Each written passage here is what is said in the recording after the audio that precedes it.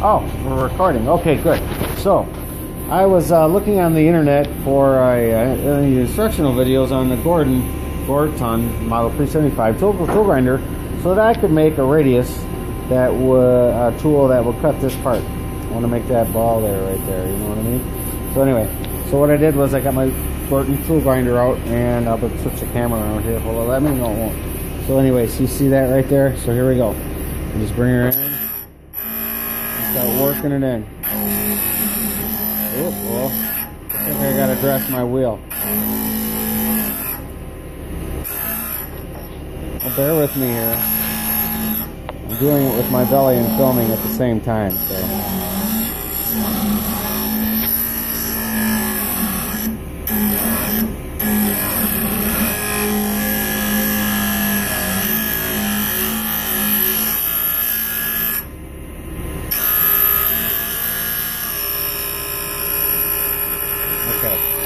Well, start over, but that's the idea. Okay, so uh, now I think I got it. See, so I, I got it mounted, and we're grinding.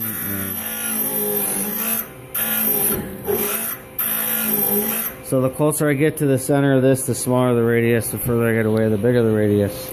And I dress the end of the grinding wheel. And I know it don't look like much now, but if you bear with me, I'll show you the finished product here when I'm done. Okay.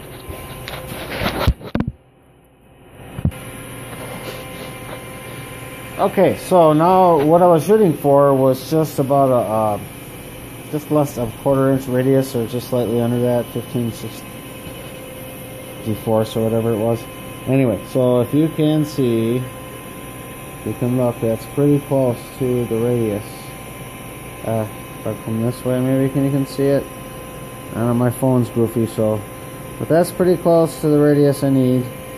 And uh, all I'm gonna do is touch up the ends of the tool and then I'll get it on the lathe. And hopefully we'll be making parts for Brown and Sharpe really quick. Okay.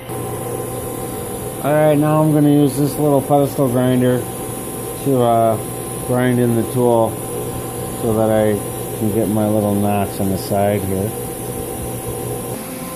Okay, this is always a trick. To get your tool post, this is a Hardinge 1976 Hardinge AHC chucker.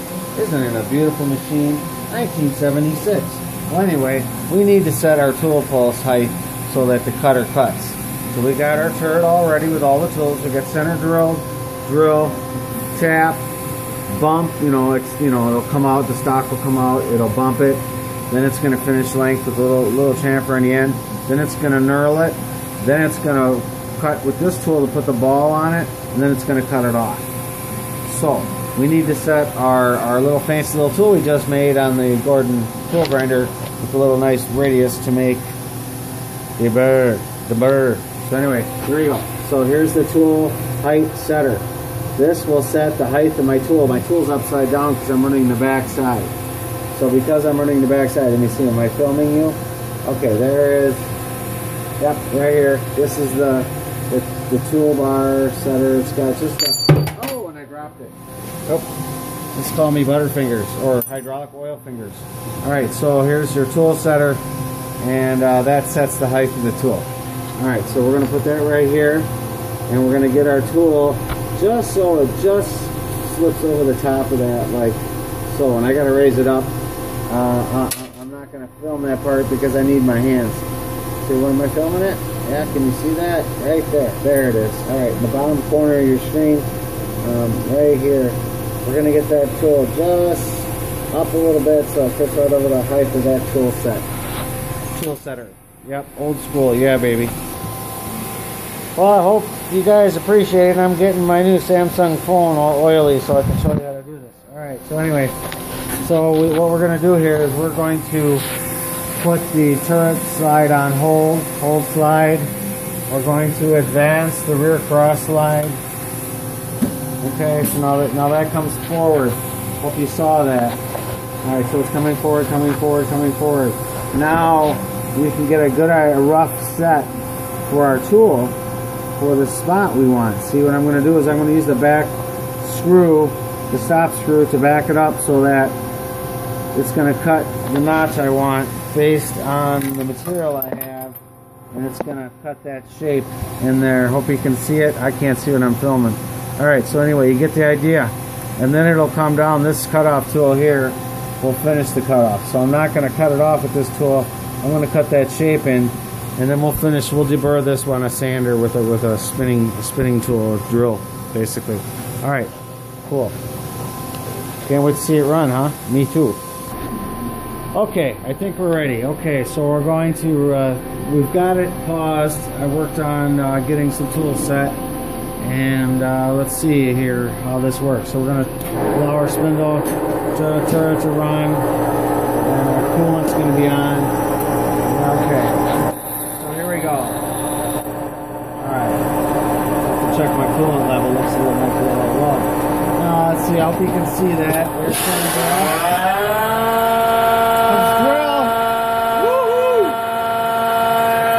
It's a small drill, so you need high RPM.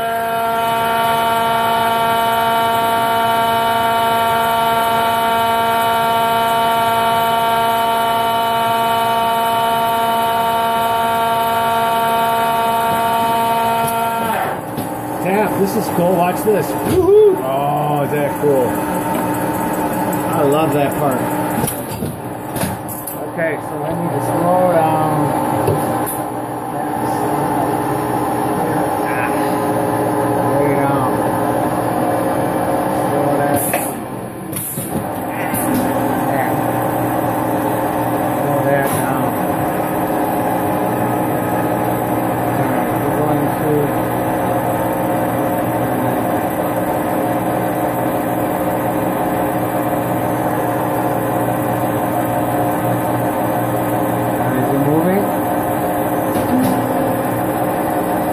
going to finish this cut, hopefully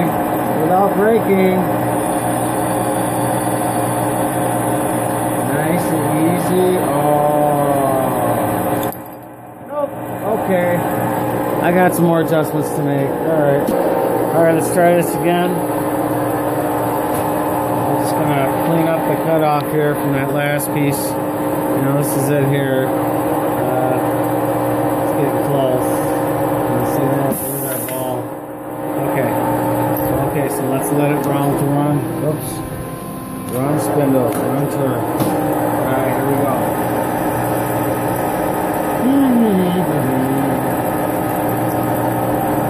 trying to make this out of that. This out of that. That's what we're trying to do.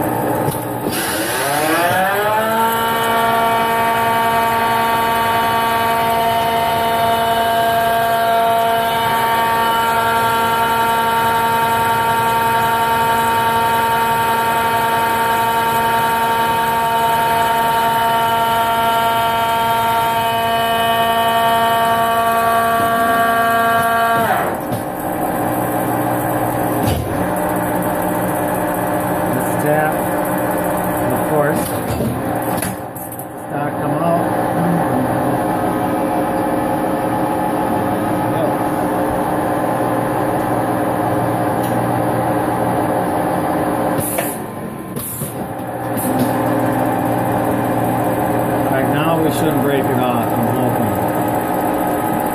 Let's slow one or the other down.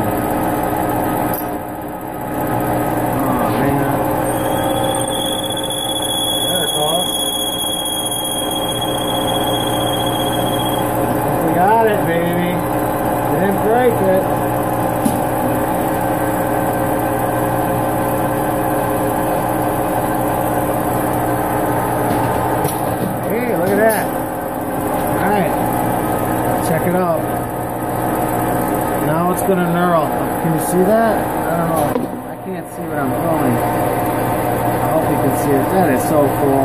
That's called a crush knurl. This is the way we knurl the part, knurl the part, knurl the part. This is the way we knurl the part. So early in the morning. La da da da da.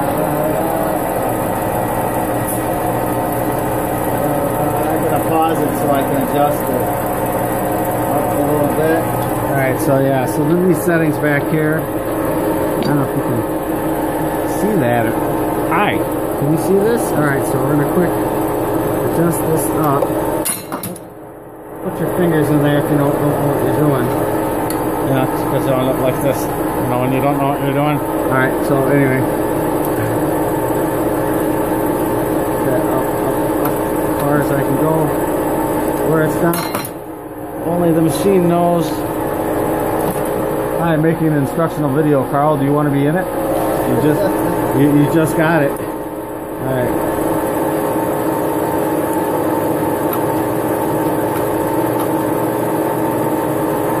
Should I pause it? Okay. All right, we're gonna finish our knurl. Wow. Look at the gut on that guy.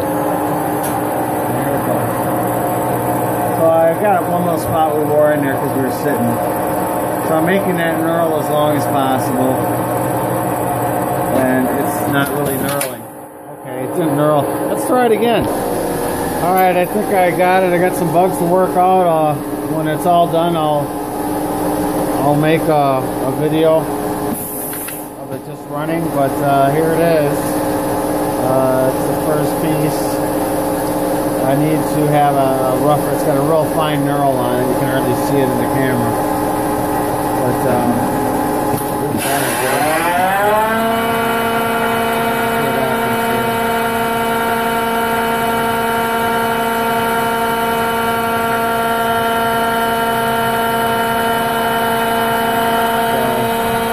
not a bad looking part, huh?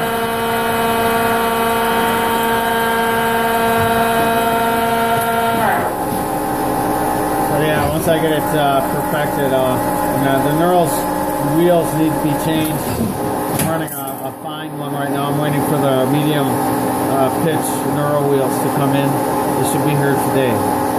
So there you go, Pat. Uh, hope uh, you should have some parts early next week. Get your order done. Sorry to keep you waiting. Isn't this cool? 1976 Hardinge.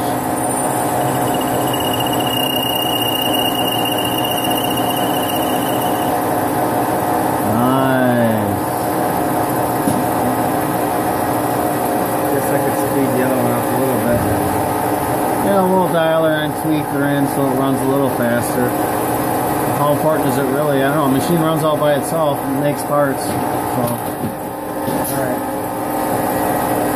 This is the way we put a long knurl on your part, put a long knurl on your part, put a long I got a guy on hold. You gotta hear his comment. You wanna hear his comment? Yeah. Is it a good comment or a bad comment? Well, we got a good one. Thumbs up. All right, good. Right there, sir. So anyway, you get the idea. There's different parts uh, early next week. So yes, Maybe, maybe you can use this guy as like a review on the website or something. really, yeah. All right, there it is. What do you think of that? A good start. I, I need a rougher knurl, but